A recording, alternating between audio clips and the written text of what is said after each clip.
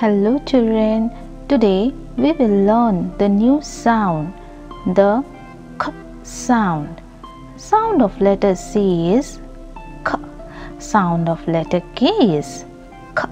Together when we put C and K it makes one sound that is it makes k sound. So when we see C and K together we read as k. We read as k. Let's read the word which have k sound. Duck, lock, block, clock, sock, frog, brick. So children, today we learn the sound. Do practice the words with k sound. Thank you. Take care and bye bye.